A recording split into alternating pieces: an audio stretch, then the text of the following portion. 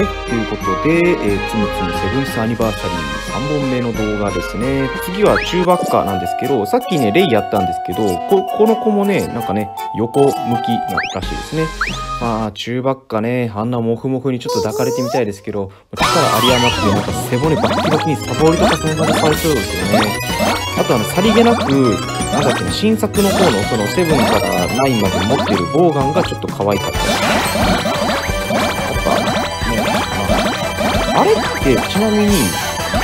裏設定とか全然知らないんですけど、ワンパとかと同種になるのかな？うおおおあ、でもしょぼいな。あ、しょぼいな。レイ、レイと比べたら全然しょぼかったですね。13個しかしてくるの。マジか。こうやってサブキャラっていうところね、主人公補正とサブキャラ補正っていうところでね、うん、全然やっぱスキルのその使使い方ですね、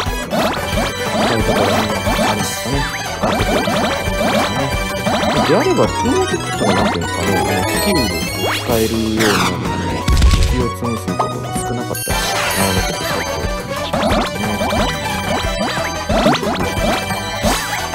そうです皆さんね、